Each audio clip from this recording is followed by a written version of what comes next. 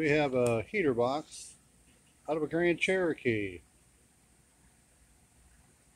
Would not come off a heat. The actuator door was stuck, wouldn't move. So we got this little gear. Most of time that gear breaks. So if that's broken, you gotta make sure your door moves. Well, when the door gets stuck,